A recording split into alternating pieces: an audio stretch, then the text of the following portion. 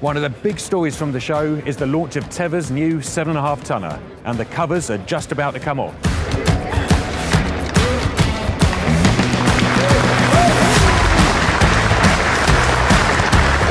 Well, that was it. You've seen the unveiling of the new third generation Tevva.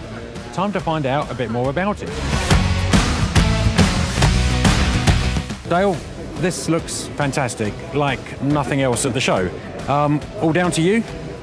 Well, I've uh, headed up the uh, design team, um, so I, I, have some guys that, that, that, that, work with me. It doesn't all just come from, from one person, but uh, yeah, this is, um, this is a, a, vision that was inspired by conversations with Asher and uh, David Thackeray as to what they wanted for, for their beloved Tevva brand. We wanted to have a very technical, I guess, scientific feel at the same time as being strong. What part of it are you most proud of? I think I think it's the, the overall the overall message. Um, we, we, we have a I think we have a feel from a design point of view that, that sits quite quite easily on on what is normally quite an awkward proportion. You know, trucks are quite boxy, they're big, but we found that by embracing that and approaching it with a, I guess the uh, the more appropriate design language, uh, we've got something that, that worked. Less for us really was more. Well, I've got to say, for me, the the best bit, without a doubt, are those fantastic tail lights. They really do look like nothing else I've seen on a truck before. What, what's the, where have they come from? Um, I'm I'm of an age where I think 80s uh, television played a big part in my influence. Uh, so um, um, when we when we started uh, trying to think of well what it would be that would really float our boat at, at the rear of the vehicle, but also work with this.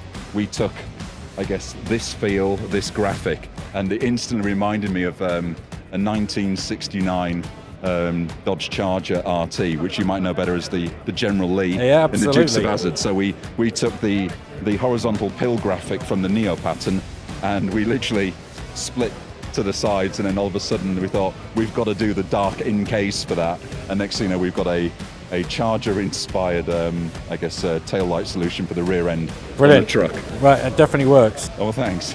Congratulations on the whole thing. Thank you very much. Pete, we've just heard from Dale there about all, all the uh, design elements of the new vehicle. Can you tell me about how you're going to get it on stream and ready for the market?